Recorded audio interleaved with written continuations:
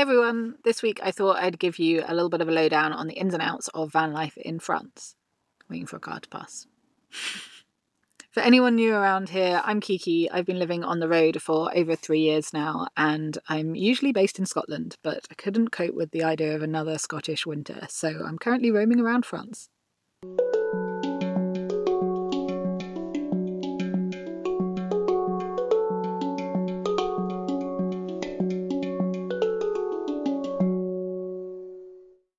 I had a minor collision last week with a big darty work van and it completely smashed my wing mirror to pieces.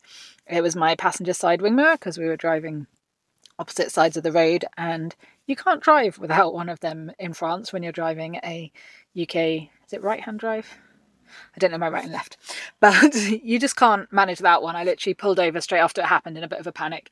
Couldn't actually pull out from where I was because I couldn't see if anything was coming. It Hadn't even crossed my mind.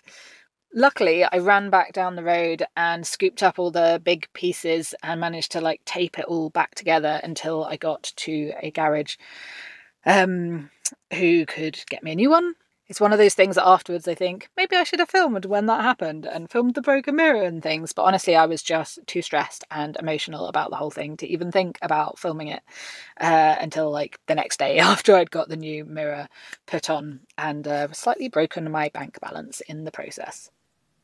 The body coloured bit that's like clips onto the outside of the mirror wasn't even covered in that insane price.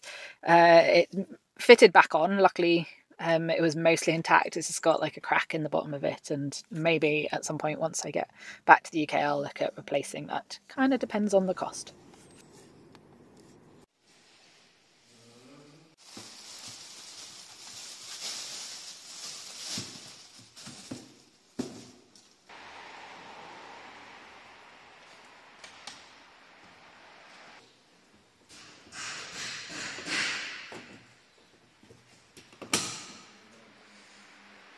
Okay, so I have my new wing mirror, which is really good. Uh, the guys at the garage were amazing.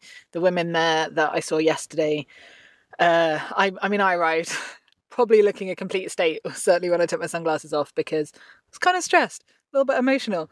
And um, they were absolutely lovely. The first one didn't speak English, and uh, we were kind of getting by with me using Google Translate. And um, yeah, I, my French is pretty terrible. I can say some random things, but I can't have conversations, and um, definitely not about broken wing mirrors. Like I was struggling to even pronounce wing mirror in French, which I'm not going to try and do on film now because it will be embarrassing for anyone that speaks French.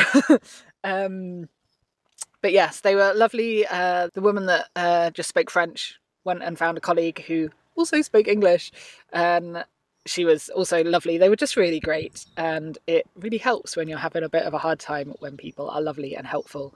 And it did help having someone speak a bit of English because it took some of the stress away. Um, she was there when I went in today, and um, again, just lovely. They were guys were lovely there. If I was local, they would be my garage from now on it was Eleanor that was there today. And uh, if she happens to be watching this, because she was asking why I was filming the guy changing the mirror um, and wanted to check out my YouTube. So if you're watching this, thank you so much. It made a real difference having, yeah, friendly, helpful people on a bad day. Unfortunately, the excess on my insurance is actually even higher than the cost of replacing the wing mirror. So claiming on insurance isn't going to get me anywhere. There's no shortage of places to park overnight in France. There are some limitations where you can drive and park camping cars, which is what they call motorhomes over here. It's mostly in places that just aren't big enough to accommodate large motorhomes, like parking on the side of the road next to beaches, where they'd take up multiple car spaces or stick out in the road. This is where having a van is great. I can still park in these places during the day as a van, and then use a camping car spot in an aire overnight. The best of both worlds.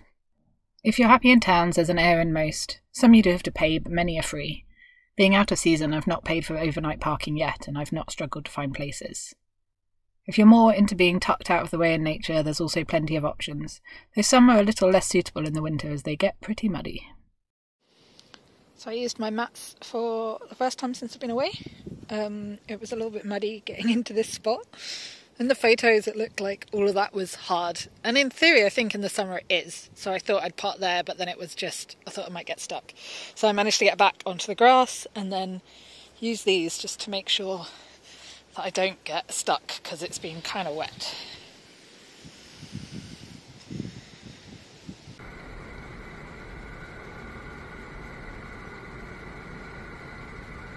Okay. Ooh. Let's try that.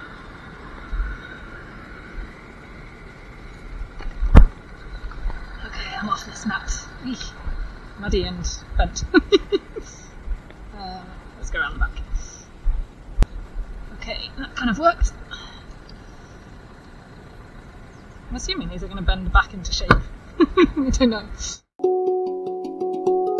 A lot of places in France have aires in the towns and really easy races to fill up water and certainly always get rid of water if you've got grey water and stuff. A lot have toilet waste disposal places as well. Doesn't apply to me, but really handy if you've got a bigger van. You can find them with this sign to be able to get rid of water.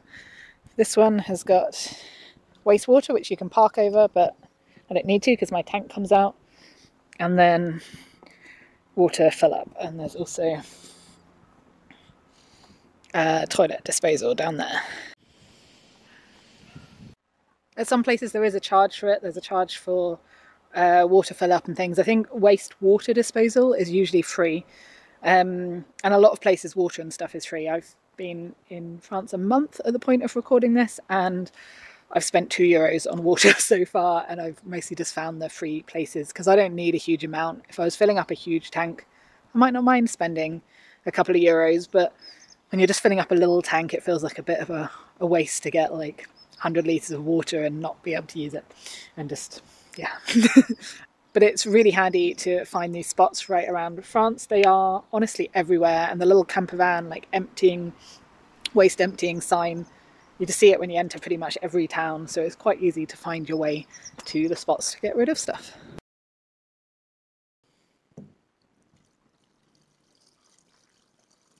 This place has uh, water that's not drinking water here to rinse out like toilet stuff and things. Oh.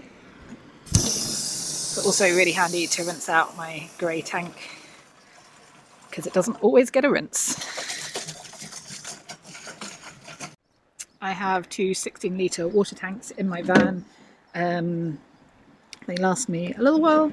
If I'm doing loads of like cooking, washing and everything, uh, then I can get through them in about a week but I can stretch that out a lot longer if I need to.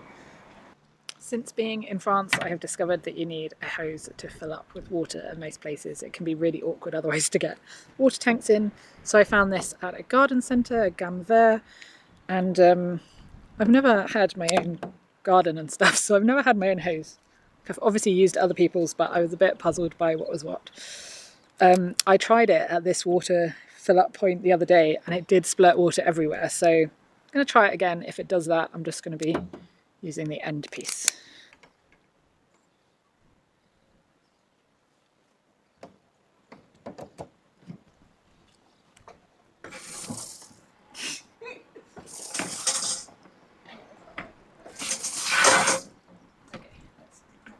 I now have a soggy hose pipe dripping off the back of the van, but worth a try.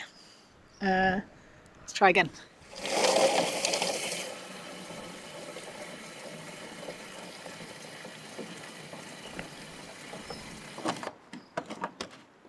they almost always get wet when I fill up water tanks. So I'm just going to grab one of my spare towels and um, give the tank a bit of a dry before I put it away. And then the key thing is not to leave this bit behind. a minute, which way is undo? Uh oh. So this is kind of cool. I just paid two euros here. Uh, press the button, otherwise it doesn't work, and then get water. You get five minutes of water or 15 minutes of electricity if you've got a hookup. Uh, I didn't actually need that amount of water, but I was happily using the Wi Fi and staying here for a couple of days, so I figured let's pay two euros. There's my van. And some water.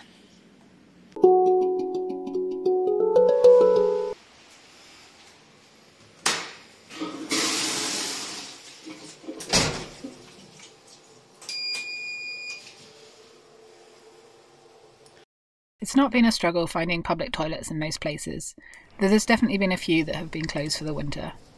For the most part, it's easy enough. There's no guarantees on the cleanliness of them, just like public toilets anywhere in the world. There's also still a few squat toilets scattered around. Always have some toilet paper or tissues tucked in a pocket, because a lot of public toilets don't have any, even if they look like they should.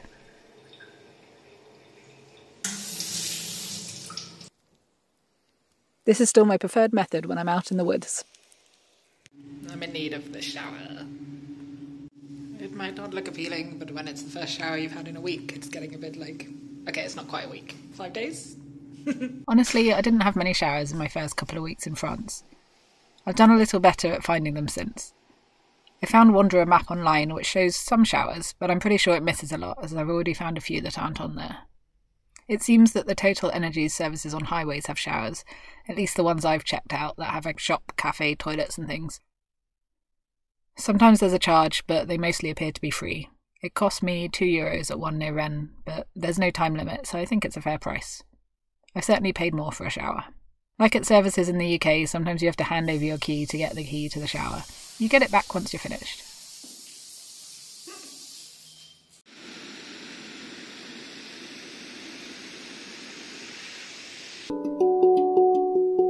It's really easy to find bins. I keep a small one in the van and just chuck it every couple of days, so it's never a huge bag that won't fit in a public bin. Recycling has taken a bit more figuring out. A few years ago, France made what you can recycle more uniform across the country, so once you learn what can be recycled, at least it can all go in. You do find separate bins for different things in some places, and it really varies per region. In some, you can stumble across multiple in a day, and in others, you only find glass recycling bins. Sometimes supermarkets have recycling sections, which is super useful. Bin truck has turned up, and I'm quite relieved because I did fill one of those bins with stuff from the sea yesterday. I'm sure you all already know this, but if you're popping outside to relieve yourself, please don't leave a trace. Toilet paper, tissues, and especially wet wipes take ages to break down, look horrible, and mean that campers get banned from places. Just pop it in a bin. It's super easy to find laundrettes in France. I like to use self-service ones so I can just do my own thing. There's outside ones like I use back in Scotland and lots in small buildings. Honestly, you just stumble across them when you don't even need one. I found them cheaper than in the UK, sometimes quite considerably. It is laundry day again. Luckily, these ones have a reasonable just explanation. And then some big dryers. It's not the cheapest place I found, but six euros for a small wash. Should be okay. You really need to know your vehicle height in France. Not only is there a height barrier on lots of car parks, but sometimes you find them in the middle of cities. I've never really struggled with driving in Europe, except at junctions in towns and cities where it can be a bit confusing where to go. But I get confused at junctions I don't know in the UK too.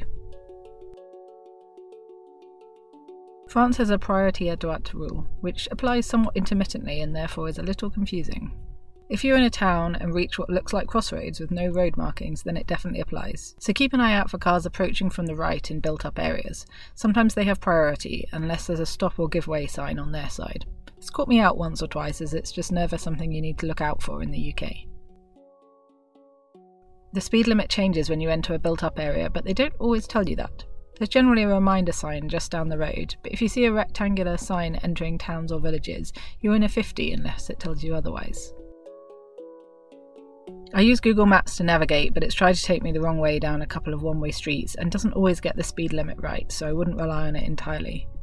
On this day, it thought I could get through something that I'm not sure is possible even when it's not flooded. Thankfully, I have plenty of reversing practice from small Scottish roads, and a short van that's easy to turn.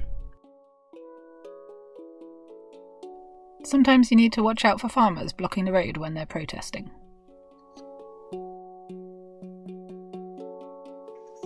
I don't think anyone is going to be worried about food in France.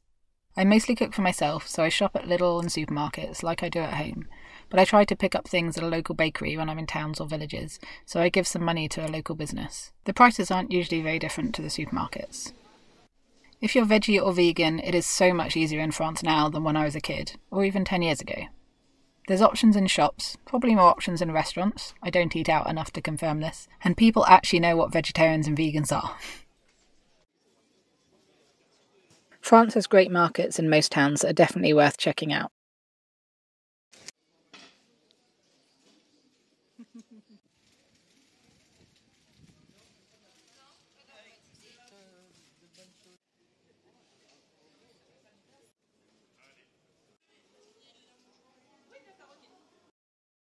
A few of my favourite foods you can get in France but not in the UK. Le Petit Beignet. Uh, this bag came with three. I'm down to my last one. That's so tasty.